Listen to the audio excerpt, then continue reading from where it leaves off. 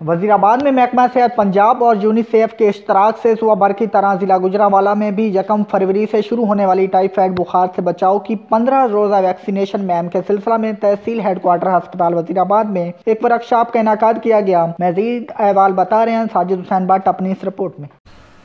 Workshop के शुरा से हताब में मुकर्रीन district manager vaccination doctor Saeedullah Khan, associate professor general हस्पताल Lahore doctor Faryad, child specialist doctor Ajmal Haqeeq Mirza M S Umar Rathore, health education officer Gujranwala Saeed Anwar, doctor Noman Rafi Rajput और दिगर ने कहा कि typhoid बुहार के केसों में इजाफा सेहत आमा के लिए काबिल तशवीश सूरत हाल है।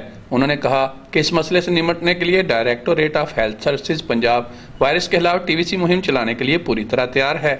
इस मुहिम को कामयाब बनाने में जनरल प्रैक्टिशनर्स का किरदार इंतहाई अहम है कि वो बच्चों के वालदेन को इस हवाले से आगे दें। प्रोफेसर डॉक्टर फयाद ने कहा कि टाइफाइड से बचाव बहुत ज़रूरी है। हुकूमत की जानब से हिफाजती टीकों की मुहिम शुरू की जा रही है। हमें लोगों को बताना होगा कि नन्हे फूलों के लिए इन टीकों का लगवाना इंतहाई ज़रूरी है।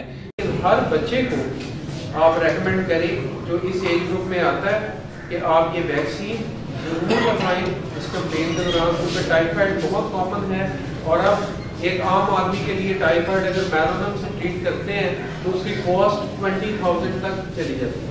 District manager vaccination doctor Saeedullah Khan ने अपने हताब में कहा कि 9 माह से 15 साल तक की उम्र के बच्चों को टाइफाइड से बचाव की वैक्सीनेशन करवाना लाजमी है। सेहत आमा के इस चैलेंज से बेहतर अंदाज में निमटने के लिए तमाम दस्तियाब वसाइल बुरकार लाए जाएँगे। लेकिन जब तक डॉक्टर जो सबसे बड़े स्टेक होल्डर हैं पीएमए जैसे और क्लिनिशियन आप सब जब तक आपकी सपोर्ट हमें हासिल नहीं होगी तो हम इस कंपेन को कामयाब नहीं कर सकते। उन्होंने बताया कि तमाम सरकारी हस्पतालों मराकज बुनियादी सेहत और डिस्पेंसरीज में फाती टेका जात के सेंटर्स बनाए गए हैं। इसके अलावा महकमा सेहत मुख्तलिफ़ स्कूलों में भी इस प्रोग्राम को जारी रखेगा।